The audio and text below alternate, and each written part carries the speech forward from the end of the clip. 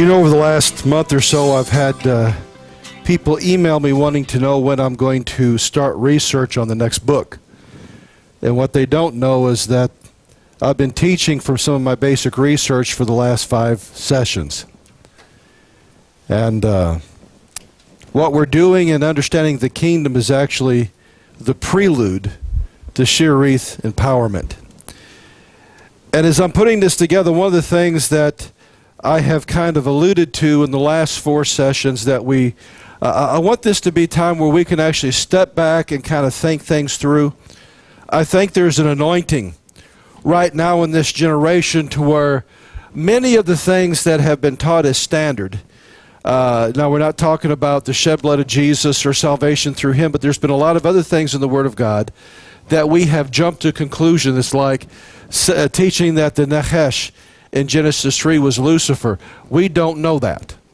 That's speculation on our part. We can guess that, or we, we do know that it was an agent from the kingdom of darkness that did that.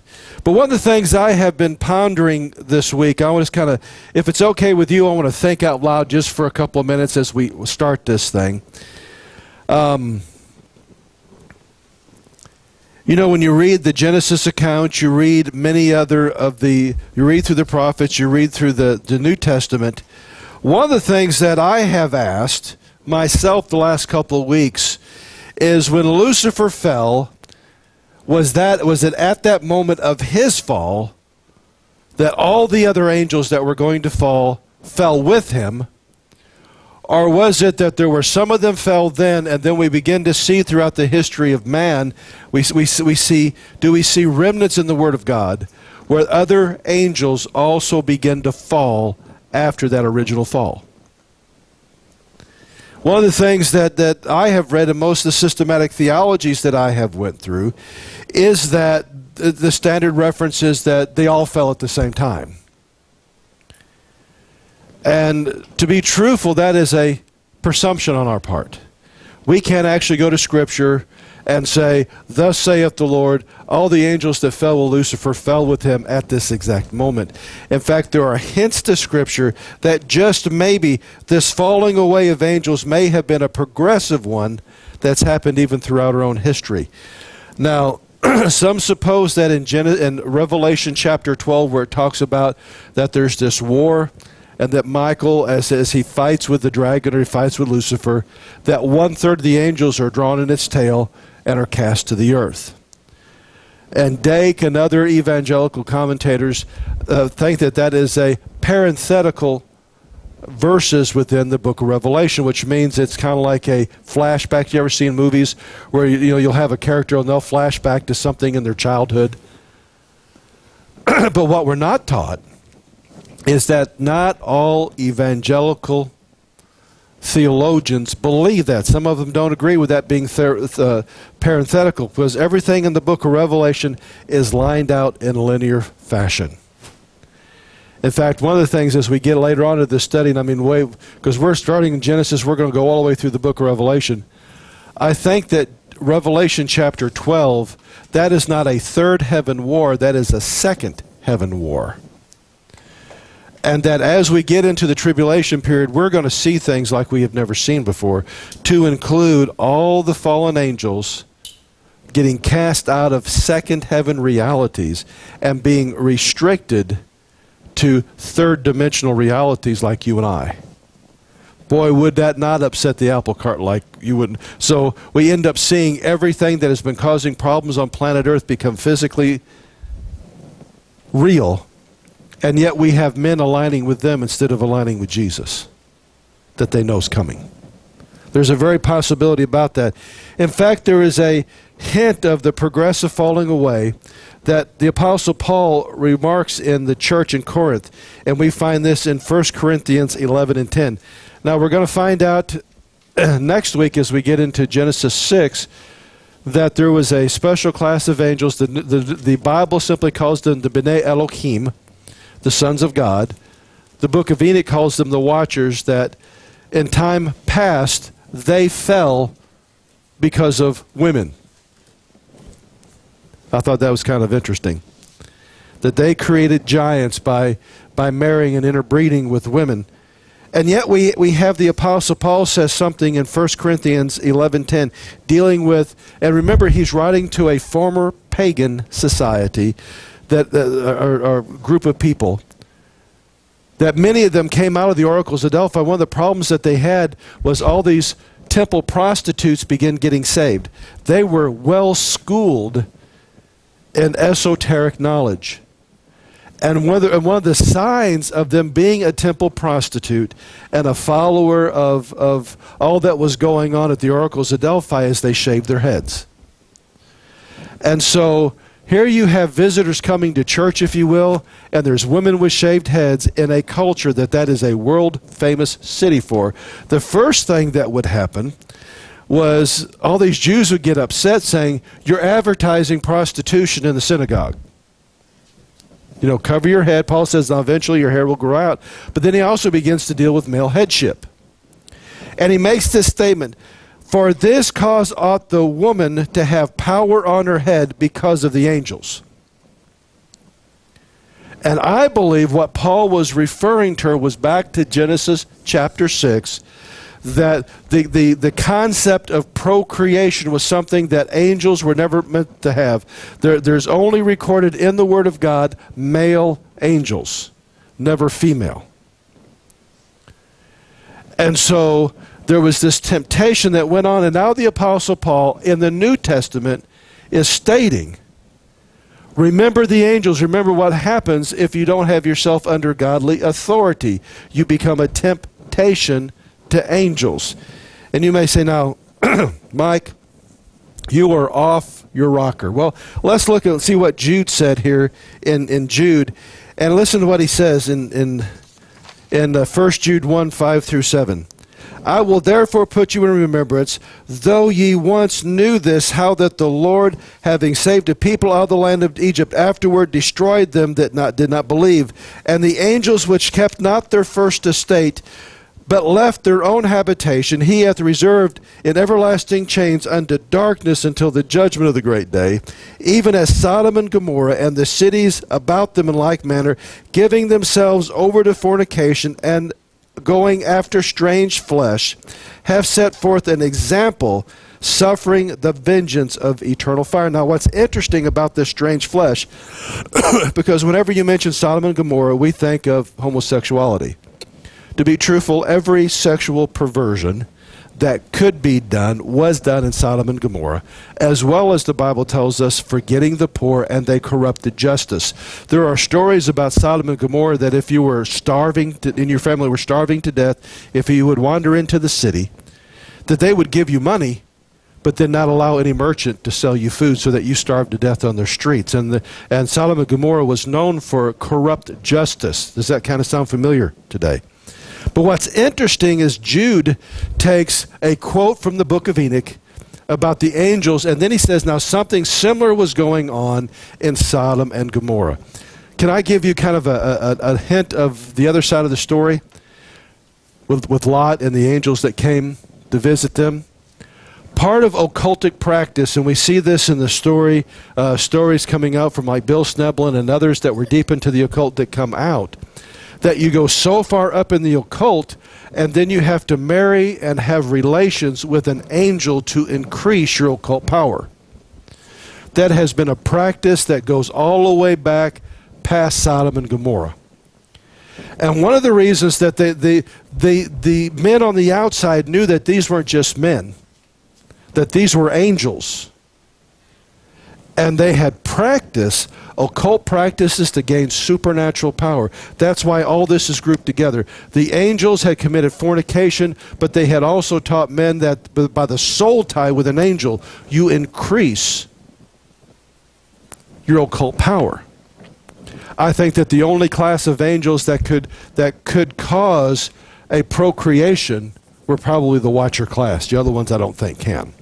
Either that or God has changed the physiology of man with the flood that the further away you get from the flood, the harder and harder it begins to happen. That's why when the UFOs show up, which I believe are just simply servants of the watchers, that they're always interested in the reproductive processes of, of mankind. Why? To try to overcome or, or, to circumvent what God did when He changed the physiology of man. A lot changed on planet Earth with the flood of Noah. It wasn't just the drowning of the Nephilim, it was that we, we went from living a thousand years to 120 years. And the further away you get from the flood, the smaller the giants get. Now, if you think, Mike, nobody on earth would have believed on this and, and what you're saying here, I want to read you a line from uh, Tertullian out of, his, out, out of his treatise on prayers. And it says, The angel revolt Tertullian, in an account of the angels, he says that the women's heads are to be covered because of the angels' revolt from God on the account of the daughters of men. So Tertullian, which was about one, um, I think I've got it here somewhere, from 155 to 240 AD was the lifespan of, of Tertullian, which was an apologist in the church. He looks at what the Apostle Paul says here in 1 Corinthians and points back to Genesis chapter 6, just like I did. And what's strategic about Tertullian is the Sethite theory that does away with uh, angels coming and breeding with women was, was done by Julius Africanus, which was in the 5th century. So many of the church fathers all agreed that this was going on. But I thought it was very unique that here we have Tertullian pointing back and coming to the same conclusion out of 1 Corinthians that I just came to. You know, it's always good to know when you have others before you kind of get the same thing. But we need to understand that there, there may have been a progressive falling away throughout human history and even before human history of angels falling, but we know by the time we get to Revelation chapter 12 that their total is one third that Satan draws, and when he is casted out of the second heaven into the first heaven, which is our dimensional reality, that there's one third of them. And what's interesting is right there it says, and when he comes down like that, he has great wrath. Well, you would too if all of a sudden you're greatly limited in what you can do. I wish I could get Josh Peck here to maybe share a little bit with you guys about what would happen if you were we, we live on three spatial dimensions. If we were able to if we were beings created on the fourth spatial dimension this is when we get into hypercubes and hyperwheels. But if you're if you're from the fourth if you were created to function in that fourth dimension and i looked at you i could not only see you i could see everything in you spiritually. I could i could read your mail simply by looking at you That's why demons can figure out what's going on with you. That's why fallen angels can figure out what's going on with you. If it's not covered in the blood of Jesus, they have full view of what's going on in you. I thought I'd just throw that out. These are some things that we need to understand in, in spiritual warfare. That's why repentance is so important in keeping and functioning under the kingdom. The kingdom of God can only function in what the blood of Messiah covers. So I want to go back back to Genesis chapter 3 verse 5 dealing with the promise of the Nachash. Now he said he said for God doth know that the day that ye eat thereof even your eyes shall be opened and ye shall be as gods knowing good and evil. Now, I've already discussed how that mankind, when, when, when humanity fell, the original couple fell, they were infused with the nature of Lucifer. That was the first time that man, in a sense, was born again. He was born from life to death. And he was infused with this new nature, this fallen nature that caused the glory of God to leave, and man realized that he was naked. I mean, this is so important. We've got to understand that that was released into the earth for a purpose. And the mystery of that iniquity is one day it will release into the earth the son of perdition.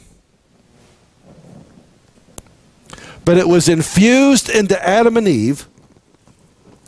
And there are several things that, you know, when we think of, of the Luciferian elite, or we, we think of those in esoteric societies, they, everybody immediately goes to Satanism.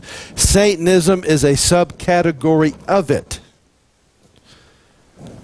But when you but when you look at it, there there are several other things that that are predominant that that scale across the whole uh, panacea, if you will, of everything from, Lucif- from a Luciferian elite to Satanists to a Christian, uh, to the Jesuits to, I mean, there's this whole panacea. But what, what they deal with is when we look at the Nachash, this flaming serpent, this flaming dragon in a tree, is the origin of the understanding of illumination.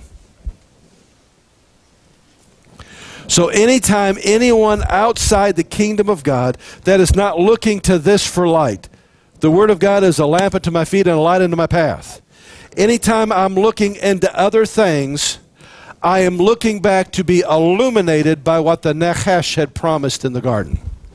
That is the, that is the essence of every esoteric society on the planet, is to have unlimited or unfettered access to forbidden knowledge. You see, the Luciferian looks at Genesis chapter 3, and he looks at it this way. There was an evil God. His name was Yahweh because he kept man from the knowledge of how to become a God. And there was a good God that came, according to Luciferian doctrine. His name was Lucifer, and he was a good God because he wanted to give man that restricted knowledge. He wanted to give him top secret documents of, of, of supernatural revelation that would promise him godhood. That's where we get the concept apotheosis. Every Freemason, they're, they're striving for apotheosis. That means to ascend into godhood.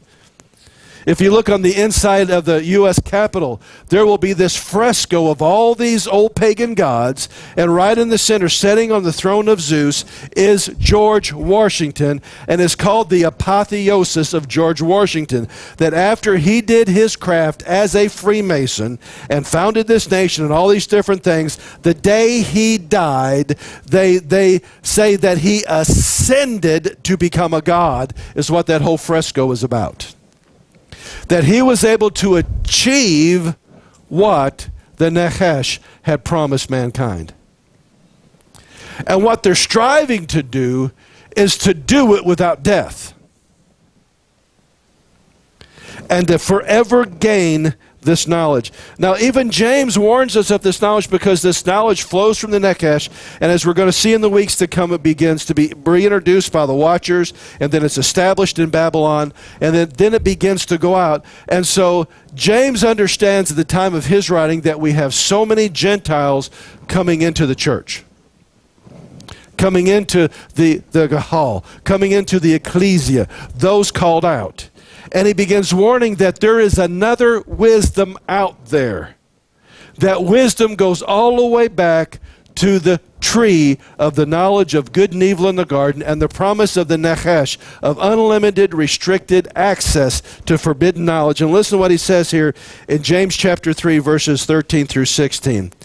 Who is a wise man and endued with knowledge among you? Let him show out of a good conversation his works with weakness of wisdom. But if ye have bitter envying and strife in your hearts, glory not, and lie not against the truth. This wisdom descendeth not from above, but is earthly, sensual, devilish. Underline that in your Bible devilish.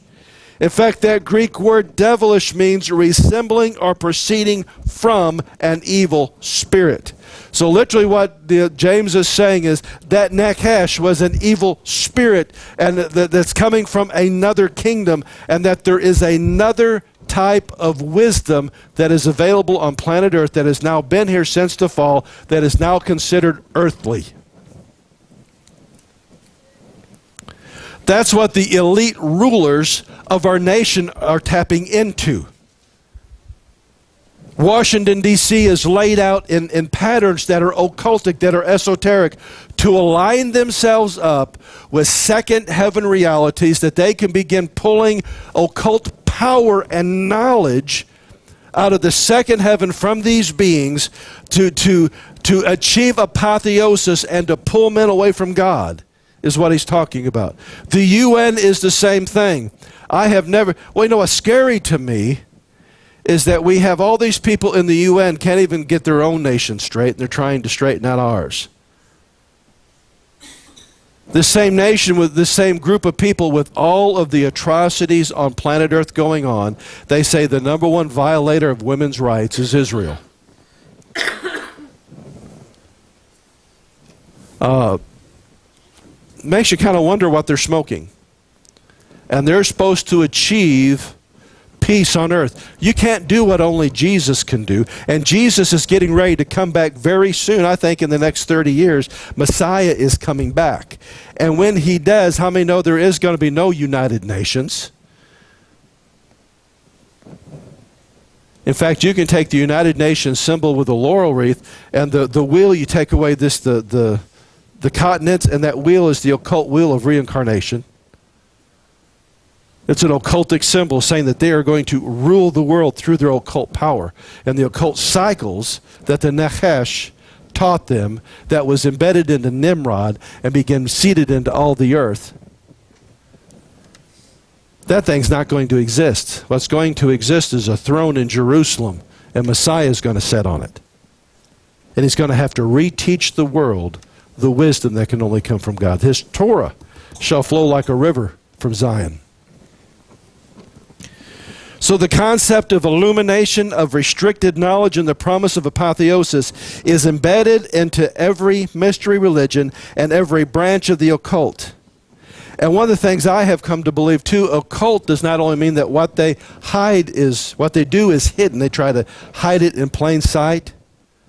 But I believe that they're, they're constantly striving to find that which is hidden. The hidden knowledge promised by the Nachash in the garden. And we come to the realization that absolutely every civilization on this planet is in part or in whole based upon what the Nachash had taught, what the Watchers had taught, and other fallen spirits had taught. No wonder Psalms chapter true is true. Why are the kings they try to trying to cast off God's word and God's restrictions? and God's going to laugh at them. How many know it's always good to be on the winning side? Let's go on back here in Genesis chapter 3 verses 21 through 24 now one of the things i see in the first in, in genesis 1 through 3 is that the first second sec, second heaven and third heaven adam had access to all of them god would come and that was simply the part of the garden that god would come into but Adam could see God. God, you know, he could see that it, it wasn't that it was all separated like it is now. But there's evidence in the scripture where God separates it at the fall of men, and he does it because of grace. Let's get into it. Starting verse 20, and unto Adam and his wife the Lord God did make uh, coats of skin and clothe them, and the Lord God said, Behold, man is become as one of us, knowing good and evil. And now, lest he put forth his hand and take also of the tree of life and live forever. Therefore, the Lord God sent him forth from the Garden of Eden to till the ground from whence he was taken. So he drove man out, uh, he drove out the man, and he placed at the eastward garden of Eden cherubim and a flaming sword that turned every way to keep the way of the tree of life. Several things we've we got to look at here. Number one, I think there was more than just coats being made to cover their nakedness. Jamieson Fausset Brown in verse in, regarding verse 12 says this God made coats of skin, taught them to make these for themselves. This implies the institution of animal sacrifice, which was undoubtedly the divine appointment and instruction in the only acceptable mode of worship for sinful creatures through faith in a Redeemer. That's why when there's the conflict between Cain and Abel, Cain knew what was acceptable because his parents had already been taught by God. It was at this moment. And by and God always loves to use physical things to teach us spiritual realities. We look at the prayer shawl with the tzitzi on them. It teaches us the commandments of God. That blue cord wrapped through, which means the only way that you're ever going to get it done is through the completed work of Messiah. And so they're, they're all throughout the, the, the divine rehearsals are all physical things or things that we can do to teach us spiritual realities. And so the very first lesson that God taught man is just as you need clothing to cover your nakedness, in the bringing forth of that clothing, blood had to be shed because there's something greater that needs to be covered. Your spiritual nakedness, your spiritual sin can only be covered by blood. And therefore, even this first session here is a type and shadow of what Messiah was going to do for us at the cross. That Almighty God had to come down Himself and shed eternal blood. Now, God forces Adam and Eve from the garden. But why does he do this? He says this you know good and evil now you've been, now been infected with evil you've been infected with this with this infection that even infected part of heaven itself this iniquity that was birthed into lucifer and now if you would stretch forth your hand and eat of the tree of life you would forever be locked into that situation. There would not only would you live forever, it's not just mortality, it's mortality in this sinful state. Therefore, for your sake, I'm going to drive you out of the garden. Because I can't let you have that because I have a plan to redeem you back. I'm going to fix this. I promise to fix it. And the have we ever, have any of us ever had God to really do what He needed to do in our lives? He had to keep us from something. Come on. That's just a repeat of what happened in the garden. God loved Adam and Eve enough. God loved you and I enough that he had to he had to drive them out of the garden and he set cherubim and a flaming sword so that they could not get back. Now, the commentary on the Old Testament says this the expulsion from paradise, therefore, was a punishment inflicted for man's good. Indeed, while exposing him to temporal death to preserve him from eternal death. Now, what's really interesting here is, especially when you read it in the Hebrew or the English, either one, you have the cherubim, and cherubim, when you look at them throughout the Word of God, their basic function is to guard. So here they are guarding this, this, this where the tree of life is, they're guarding it. But the, the word does not say that these cherubim had swords of fire. It said there were cherubim and there was this sword hung out in the middle of nothing. And no matter which way you go, it would keep you from getting in the garden. It was a multi dimensional severing by a flaming sword that separated the first, second, and third heaven. Now, this does not originate with me. I was listening to Dr. Chuck Missler. In fact, I, I, I uh, talked with Josh Peck last night just to make sure. I said, I think I got this from Chuck Missler. And he says, I think I did too. And, I, and both of us have kind of come to the conclusion it was his, his video on the holographic universe. But God uses the sword to separate out the first, second, and third heaven. And there are cherubim there that keep man out. In fact, we know, and uh, Rob Skiba did a, an awesome uh, teaching uh, that, that he did where he basically, where Mount Gerizim and Mount Nebo may have been the mounts right there of the garden. And one mount is for cursing, one is for blessing. One had the tree of life, one had the tree of the knowledge of good and evil, may be the exact same area which is very interesting because that's the first area in between there. I think it's Shechem, if I'm remembering correctly, is the first, where the first sacrifice was made. When Israel comes out of Egypt and they come back there, God stops them between the two, and He says, "I set before you life and death, blessing and cursing." And they did a sacrifice before they went on into the land. So we know physically where the first dimensional reality of the Garden of Eden is, but there's no trees there because that has been separated out and now reserved in the third heaven. Now, when Jesus comes back, he brings the kingdom with him. Because the, ki- the only place in the universe that the kingdom of God has no rival is the third heaven. and he's bringing the kingdom back with him. That means through Christ, when I learn to function in my kingdom realities, I can tap into third heaven power and authority which supersedes the second heaven. Now, the second heaven is a hash mash, if you will, of godly angels and evil angels fighting to keep God out of here. That's where principalities and powers and rulers of darkness, they're all operating in this second heaven. But you can't really see that. In fact, I believe when people astral project, there's probably a small barrier between the first heaven and the second heaven. They don't go up into the second heaven and do battle. God never tells you to go up into the second heaven to do battle.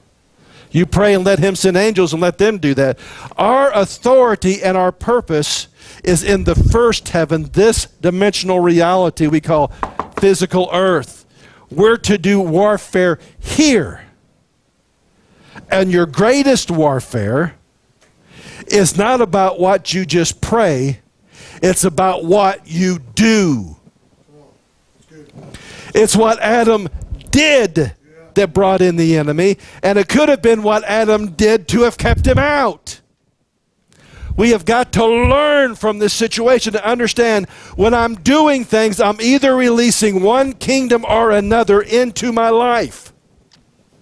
That's why the body of Christ needs to rediscover the commandments of God. Otherwise, what you're doing with a religious veneer is you're following the teachings of the Nachash and the Watchers and the principalities and the kingdom of darkness, and you put this veneer on it and call it greasy grace, and all the time you're simple everything that you're doing violates the ways that God has put in black and white and we're constantly tearing down our walls of protection. We're constantly doing their ways, and we're tapping into wisdom that is filled with darkness. And then we're constantly going to the altar and crying, God, oh God, why is all this happening to me? It's because everything you're doing is their stuff. And when you do their stuff, you're releasing their power into your life. And what God is saying, listen, what I'm trying to get across to you is there's another kingdom. And when you do that kingdom's stuff, you release that kingdom's power and purpose into your life. And what I'm finding out in my old age, guys, I wish somebody would have taught this to me when I was in my 20s. That's one of the reasons why I'm trying to teach all this stuff. My goodness, how much life could have been a whole lot better. Because now that I'm in Christ, how about me start acting like Him?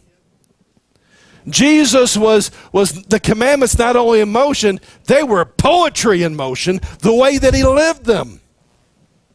And if I'm going to be like Him, I've got to keep the commandments the same way that Jesus did. Isn't that what First John what John said in First John? If I say that I'm in him, maybe I should walk like him and keep the commandments the same way that he did. He was the perfect Jew. He was the perfect Hebrew. He was the Torah in motion. That's why whenever he came into a situation, the kingdom of darkness had to bow and the kingdom of God flowed because he only did what the Father told him to do.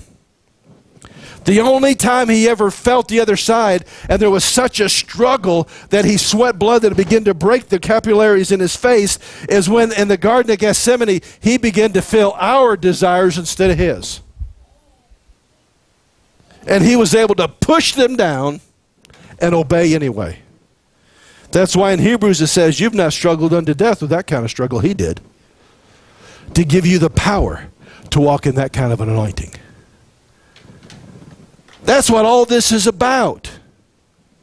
That's why we need to understand that what the what is happening in America, what's happening around the world. There is an anointing, there is a power, there is a wisdom, there is an intelligence beyond our comprehension behind it. But we need to realize I have access to an intelligence greater than that intelligence. I have, an, I have access to an anointing greater than that anointing. I have access to wisdom greater than that wisdom. If I'll simply yield to God and get back and be a man or a woman of this book, started in Genesis and let it go all the way back to the book of Revelation. It is time. I, am seeing on Facebook where I'm, I'm, looking at guns and those like with Canary Cry and Rob Skiba and all those. One of the things they're doing is they're questioning everything. Now, they don't question the blood of Jesus, salvation through the blood, but they begin questioning everything, which is good. The Apostle Paul says, prove all things. And they're, they're, they're questioning the status quo of a lot of things that tend to be more the traditions of men, maybe, than it is really the Word of God. And by questioning them and examining it from all angles properly, you begin to find out what's real and what's of the other kingdom or what's just a bunch of hokum. And some people don't like that because if you question somebody else's theological position, I mean, they come out with clubs and, and pitchforks and tar and feather. You know, and I'm, I'm grateful whenever I do radio shows and they don't allow questions on, you know, people call into the radio show. I'm grateful for that because nobody's interested in what I wrote. I found this out. They're interested in my take on their position.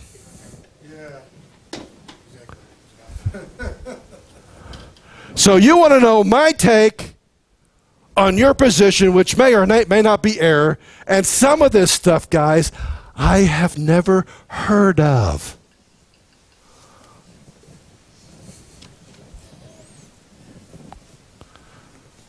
What do you think about the polar shift on Venus and Mars?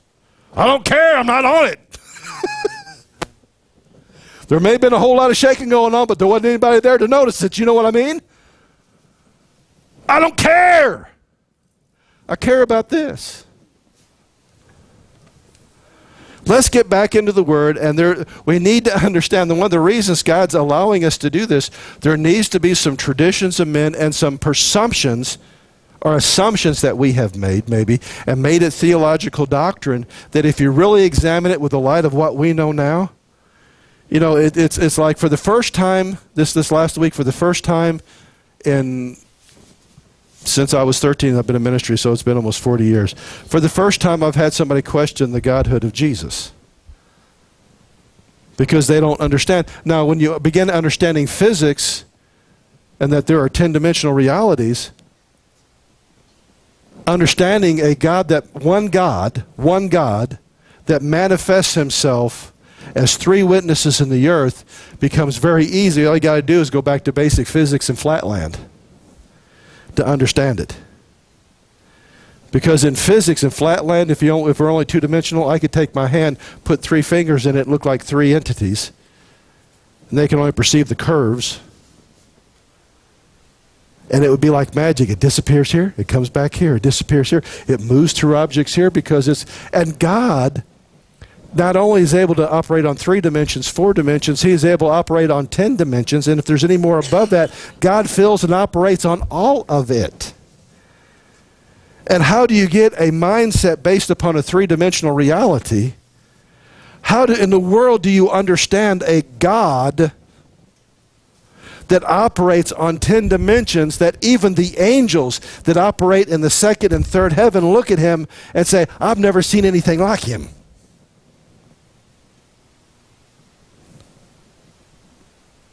Jesus is not a different God than Yahweh. The Holy Spirit is not a different God than Yahweh or the Ancient of Days in the book. The Godhead is simply the manifestation of one God in this three dimensional reality. That's why Jesus is encoded in Yahweh. But yet, because we're going to be able to easily know him, he's separated in the first line of Genesis. He is the Aleph Tav setting right next to Elohim. And Elohim is unique in all the Word of God. It is a plural word that has a singular meaning. Because God decided, no one can testify of me save myself. And so he has come as three witnesses in the earth of who he is. Jesus is Almighty God come in the flesh. The only reason that, uh, from my point of view, as far as I can understand it, we call him the Son of God is because God came down and made a body that was birthed of a woman that he could fill. That made Messiah unique. And theologians are still, we've been arguing and trying to figure this thing out for 2,000 years. Maybe physics is going to help us out a little bit. Our minds need to stretch. Solomon, looking at the first temple, said that the entire universe is not big enough to contain the presence of God. And if he's so big, maybe it took three representations of him for us to begin to even have an inkling of who he is.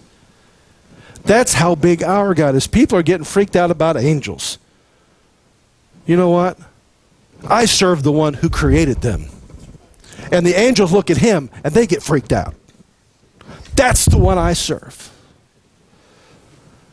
The one I serve makes the Nachash in Genesis 3 look like an idiot. I've said this before, but when we get to a certain place in the book of Revelation, Lucifer says, Okay, I've been playing checkers all these years, king me. And God's been playing 10 dimensional chess, and he says, Checkmate. We're, we're, now, we're no match for Lucifer, but Lucifer is no match for Yahweh Elohim. No match.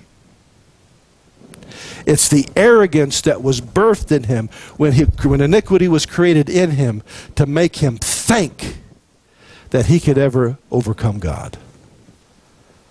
That's the God that we have to serve. So, why, why am I sharing all this? Because, guys, we need to understand that we have access to something greater than what the Nachash offered. We have access to third heaven realities. The Nachash promised knowledge from the second heaven. In Hebrews 4:16 it says, "Let us come boldly unto the throne of grace that we might receive mercy and find grace eh, to help in a time of need." That through Christ that by his shed blood, by, by who he is, and when I'm in him, I have access to the mercy seat of God, that throne of grace in heaven of mercy. When I need it, all I've got to do is stop and pray, and my spirit man connects through the second heaven immediately into the third heaven before the throne of God, that I can come boldly or without reservation into his presence, being found in Christ to overcome everything the Nachash is doing in the earth. So, as we begin to unfold these things, I don't want us to be overcome by them. You need to understand the enemy, but then you also have to realize the new arsenal of weapons and abilities that you have in Christ. It's so important. And so, Father, I ask if you do anything this morning that number one, you make us aware of the devices of the enemy. But Father, that you would burn into our consciousness who we are and what we've become this new creation in Christ Jesus.